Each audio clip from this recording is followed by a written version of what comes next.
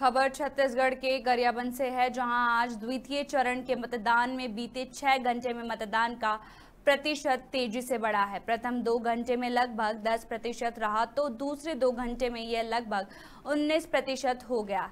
छठवें घंटे में यह प्रतिशत बढ़कर तैतालीस दशमलव बीस प्रतिशत तक पहुँच गया है, जिसमें राजिम में इकतालीस दशमलव चौरासी प्रतिशत और बिंद्रा नवागढ़ में चौवालीस और फिफ्टी सेवन पहुँच गया है।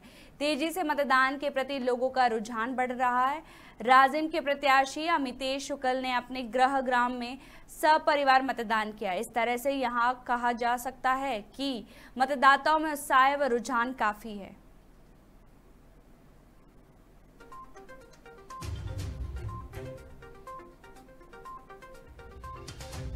प्रारंभ हो चुका है। इन पाँच सौ तिहत्तर में से नौ मतदान केंद्र ऐसे हैं, जहाँ सुबह सात बजे से दोपहर तीन बजे तक का मतदान होना है, जो कि हमारे नक्सल प्रभावित सेंसिटिव क्षेत्र में आते हैं। और इन सभी सात केंद्र पे, नौ केंद्र पे और हमारे बाकी पाँच केंद्र, कुल मिला के सभी पाँच सौ तिहत्तर केंद्र पर शांतिपूर्वक मतदान प्रारंभ हो गया है। लोगों में काफ़ी उत्साह प्रतीत हो रहा है। लोग बड़ी मात्रा में मतदान करने के लिए अपने घर से बाहर निकल रहे हैं और मेरा सभी से अपील है कि इस लोकतंत्र के महापर्व में सभी लोग अपने मताधिकार का प्रयोग बढ़ चढ़ कर करें।